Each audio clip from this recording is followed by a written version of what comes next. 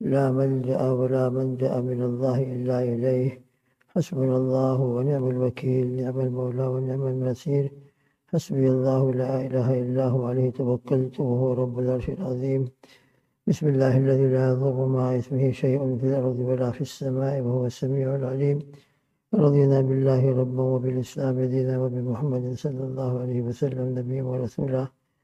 أصبحنا الحمد لله على فتة الإسلام أصبحنا على دين الإسلام أصبحنا على على كلمة الإخلاص أصبحنا على دين نبينا محمد صلى الله عليه وسلم أصبحنا على ملة أبينا إبراهيم حنيفا وما أنا من المشركين. الحمد لله الذي هدانا لهذا وما كنا لنهتدي لولا أن هدانا الله. الحمد لله رب العالمين عدد خلقه ورضا نفسه وذلة عرشه ومداد كلماته. أصبحنا وأصبح الملك لله رب العالمين. اللهم إنا نسألك خير هذا اليوم فتحه ونصره ونوره وبركته وهداه لنا ولجميع أمة محمد صلى الله تعالى عليه وسلم. ونعوذ بك من شر هذا اليوم وشر ما بعده. الحمد لله الذي تواضع كل شيء لعظمته. الحمد لله الذي ذل كل شيء لعزته الحمد لله الذي خضع كل شيء لملكه الحمد لله الذي استسلم كل شيء لقدرته. ونشهد أن لا إله إلا الله وحده لا شريك له ونشهد أن سيدنا وحبيبنا وسندنا ومولانا محمد عبده ورسوله. صلوات الله وسلامه على سيد الأولين والآخرين خاتم الأنبياء والمرسلين قائد الغر المحجلين إلى جنات النعيم. سيدنا محمد وعلى آله وأصحابه وأزواجه وأتباعه أجمعين وبارك وسلم تسليما كثيرا كثيرا. أما بعد برشيك اللهم صل على محمد وعلى آل محمد كما صليت على إبراهيم وعلى آل إبراهيم إنك حميد مجيد.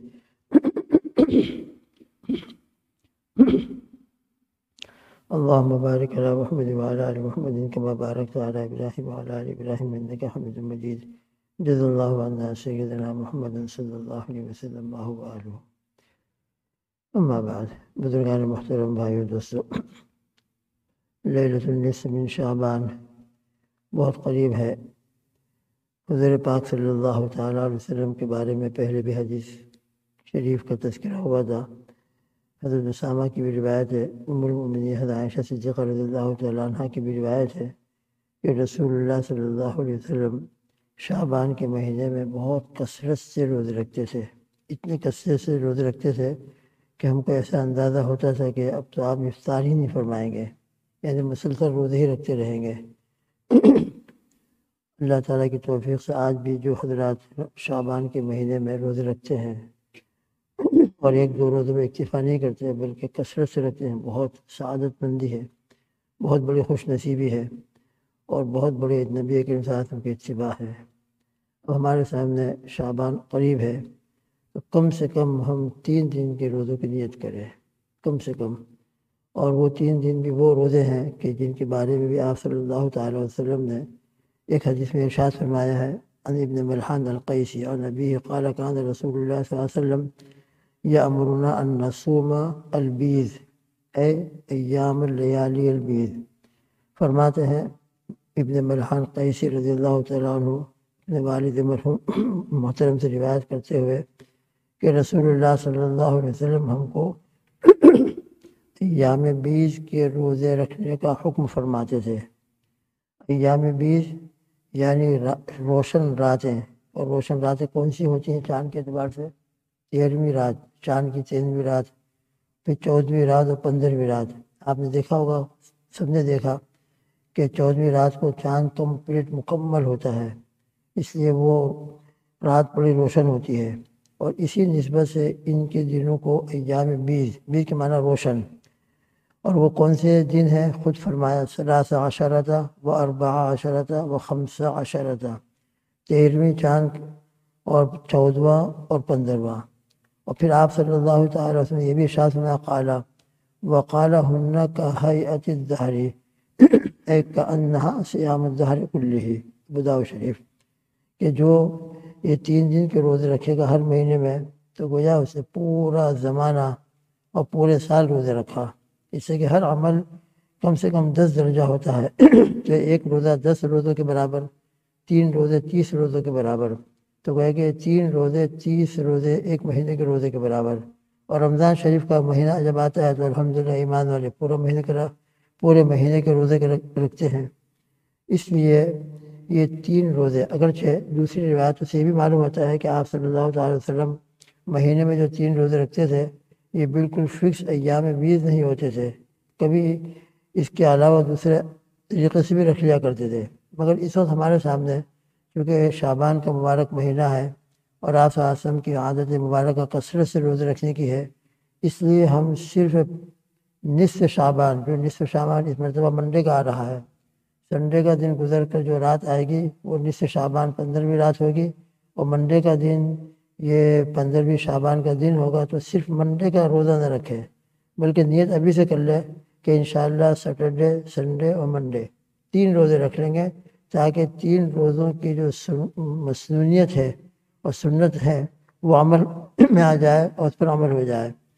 اور اگر کوئی خدا نہ خاصا اپنی طبیعت کی وجہ سے ہمت نہ کر سکے اور ایک ہی روزہ پندرہویں شعبان کا رکھے، تو پندرہویں شعبان کا روزہ بھی اس نیت سے رکھے کہ میرے آقا، میرے محبوب صلی اللہ تعالیٰ علیہ وسلم تو شعبان میں بہت کثرت سے روزہ رکھتے تھے اور پندرہویں شعبان کا دن بھی شعبان ہی میں ہے۔ لہذا آپ صلی اللہ تعالیٰ وسلم چونکہ شعبان میں کثرت سے روزہ رکھتے تھے، تو میں بھی اس نیت سے میری اپنے ہمت کے مطابق، میری اپنی حالت کے اعتبار سے اے اللہ ایک ہی روزہ رکھ سکتا ہوں۔ تو میں ایک ہی روزہ آپ صلی اللہ تعالیٰ وسلم کے اتباع میں، کہ آپ صلی اللہ تعالیٰ وسلم شعبان میں روزہ رکھتے تھے۔ اور یہ پندرہویں شعبان کا دن بھی شعبان ہی کے مہینے میں ہے۔ تو شعبان کے مہینے کے روزے کی نیت کر کے پندرہویں شعبان کا روزہ رکھ لے تو اللہ سے کیا بعید ہے؟ کہ انشاءاللہ اپنی مجبوری کی وجہ سے ایک انسان اس نیت سے کہ اللہ کے حبیب صلی اللہ علیہ وسلم سے بہت کثرت سے کثرت سے روزے رکھتے تھے، کہ اللہ مجھ سے ایک ہی روزہ رکھا جا رہا ہے، تو میں بھی اسی نیت سے کہ آپ صلی اللہ علیہ وسلم شعبان میں روزے رکھتے تھے، تو میں بھی شعبان کے مہینے میں روزہ رکھ رہا ہوں، اس نیت سے ایک روزہ رکھ لے۔ خالص نصف شعبان تو خالص نصف شعبان کی نیت کے بجائے یہ نیت کر لے کہ شعبان کے مہینے میں آپ صلی اللہ علیہ وسلم کی عادت مبارکہ کثرت سے روزہ رکھنے کی ہوتی تھی، تو میں بھی شعبان کے مہینے کی نیت سے اور آپ صلی اللہ تعالیٰ وسلم کے اتباع کی نیت سے ایک روزہ رکھ رہا ہوں۔ باقی تین روزے ابھی بھی ہمارے پاس موقع ہے، ہمت کر لیں، تو انشاءاللہ تین روزے، باقی اس سے زیادہ اور بھی کل کوئی رکھ لے، اس کے بعد بھی رکھ لے۔ اگرچہ آپ صلی اللہ علیہ وسلم نے نصف شعبان کے بعد فرمایا کہ روزے نہ رکھو، وہ بھی ہمارے لیے رکھا، فرمایا ہے کہ ایسا نہ ہو کہ کوئی روزے رکھنے کی وجہ سے کمزور ہو جائے۔ اور پھر رمضان کے اصل روزے جو فرض ہیں، ان میں کمی آ جائے۔ اس سے اگر کوئی نصف شعبان کے بعد اس کو ہمت ہو سیٹرڈے منڈے ہو یا چھزرے ہو، اس کی عادت ہو چھزرے اور منڈے کو روزہ رکھنے کی، اور وہ اس وجہ سے روزہ رکھ رہا ہو، جس شعبان کے بعد بھی، اور اس کو امید ہے کہ انشاءاللہ رمضان کے روزے میں کوئی کمی نہیں آئے گی، تو انشاءاللہ امید ہے کہ رکھ سکتا ہے۔ البتہ رمضان سے ایک دو دن پہلے روزہ نہ رکھے۔ رمضان کے۔ البتہ اس کے اندر بھی لکھا ہے کہ کوئی ایسا دن آ جائے کہ جس میں جس دن کے اندر وہ روزہ رکھا کرتا تھا، جیسے منڈے آ گیا یا چھزرے آ گیا، تو اسی نیت سے کہ میرا ہمیشہ کا نیت اور ہمیشہ کا عمل منڈے یا چھزرے کے روزہ رکھنے کی اور اتفاق سے رمضان کے ایک دو دن پہلے جو آ رہا ہے دن، وہ منڈے کا آ رہا ہے، تو اس نیت سے روزہ رکھ لے تو اس کی بھی گنجائش ہے۔ تو خیر بہرحال ابھی ہمارے سامنے ایام بیز ہیں۔ یہ تین دن کے روزے ہیں۔ تو ہم سب یہ نیت کریں انشاءاللہ، ثم انشاءاللہ اللہ ہمت ادا فرماتے ہیں اور اللہ ہی آسان فرماتے ہیں۔ اللہ انشاءاللہ آسان فرمائیں گے اور رمضان شعبان کے مہینے کی برکت اللہ عطا فرمائیں گے۔ بہرحال یہ مبارک رات ہے۔ بہت اہم اہم فیصلے اللہ کی طرف سے ہوتے ہیں۔ مغفرت کے فیصلے ہوتے ہیں، رزق میں وسعت کے فیصلے ہوتے ہیں۔ اور کتنے دنیا میں رہنے والے ہیں اور کتنے دنیا میں آنے والے ہیں، پیدا ہونے والے ہیں، جانے والے ہیں، ان کے فیصلے ہوتے ہیں۔ اہم اہم کاموں کے فیصلے ہوتے ہیں۔ اور پھر اس کے بعد الحمدللہ رمضان شروع ہوتا ہے، رمضان کے اندر شب قدر آتی ہے، اس کے اندر بھی یہ تمام باتیں ہوتی ہیں۔ اور اس کے اندر بڑی تفصیل ہے کہ دو راتیں پھر کس طریقے سے ان تمام با، ان دونوں راتوں میں یہ باتیں ہوتی ہیں۔ تو اس کے بارے میں علماء نے کتابوں کے اندر دونوں کو جمع کیا ہے اور دونوں قولوں کو جمع کرتے ہوئے فرمایا ہے کہ جس سے شعبان کی رات بھی اہم رات ہوتی ہے۔ ہو سکتا ہے، جیسے کہ آپ نے دیکھا ہوگا، پارلیمنٹ کے اندر ایک تو ہوتا ہے، بل پاس ہوتا ہے۔ اور بجٹ مقرر کیا جاتا ہے۔ مگر عمل اسی دن شروع نہیں ہوتا ہے۔ عمل تھوڑے دنوں کے بعد شروع ہوتا ہے۔ اسی طرح ہو سکتا ہے کہ لیلت المبارکہ، جو نصف شعبان کی رات ہے، اس کے اندر فیصلے ہوتے ہوں گے اور باقاعدہ عمل شب قدر سے شروع ہوتا ہو۔ واللہ عالم لیکن بہرحال نصف شعبان کی رات بھی بڑی مبارک رات ہے۔ تین دن کے ہم روزے اس نیت سے رکھنے کی نیت کر لیں کہ آپ صلی اللہ علیہ وسلم شعبان میں کثرت سے روزے رکھتے تھے اور ایام بیس کے روزوں کا حکم بھی فرمایا کرتے تھے۔ تو ہم ایام بیس کے روزے رکھ رہے ہیں۔ اللہ کے نبی صلی اللہ علیہ وسلم کی اس حدیث پر عمل کرتے ہوئے اور شعبان کا مہینہ ہے تو شعبان کی نیت سے بھی ہم روزے رکھ رہے ہیں کہ ہمارے حبیب صلی اللہ تعالی وسلم کثرت سے روزے رکھتے تھے کہ اللہ میں تین ہی رکھ سکتا ہوں تو تین رکھ رہا ہوں۔ اخلاص کے ساتھ اللہ تعالیٰ مجھ کو اور آپ کو ان دنوں کی قدر کی توفیق ادا فرمائے۔ اور ان دنوں میں جو اہم اللہ کی طرف سے خیر کے فیصلے ہوتے ہیں، ہمارے لیے، ہمارے گھر والوں کے لیے، آپ کے لیے، آپ کے گھر والوں کے لیے اور پوری امت کے لیے اور ان کے گھر والوں کے لیے۔ اور پورے عالم کے لیے اللہ خیر کے فیصلے فرمائے۔ رمضان کا آنا بھی ہمارے لیے مبارک فرمائے۔ اور رب الجلال ہم سب سے راضی ہو جائے۔ ہمارے بچوں سے، ہمارے گھر والیوں سے، ہماری ماں بہنوں سے سب سے اللہ اپنی رضامندی کا اعلان فرما دیں اور ہم کو مبارک زندگی اور مبارک متضع فرمائے۔ اللہم آمین۔ سبحان اللہ بحمدہ، سبحانک اللہم بحمدک۔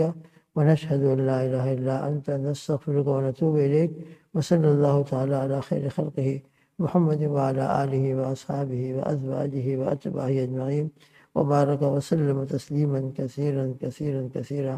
آمين. اللهم آمين. سبحان ربك رب العزة عما يصفون وسلام على المرسلين.